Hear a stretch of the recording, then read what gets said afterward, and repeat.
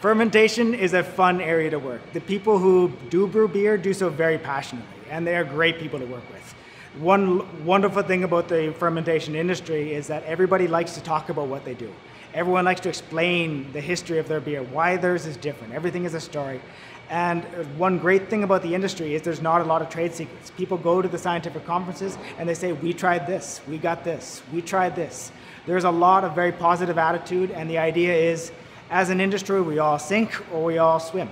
I love testing a theory and seeing that come to fruition and seeing the massive change between fermentation where we've changed one parameter versus the controls that have all come out very tight. That's just a phenomenal feeling that yes we are showing conclusively that this one parameter that we can uh, change is making a difference. And we can see immediately how we can begin to apply that industrially and how this can make a major difference in our industry the work that i'm doing specifically with different pressure fermentation uh, different ways to facilitate carbon dioxide evolution and removal, different ways to treat our yeast so that they're less stressed. This is all going to contribute to how and where we can use fermentation in these industries. I've been working on brewing since I began my PhD, so that's coming up on 10 years now.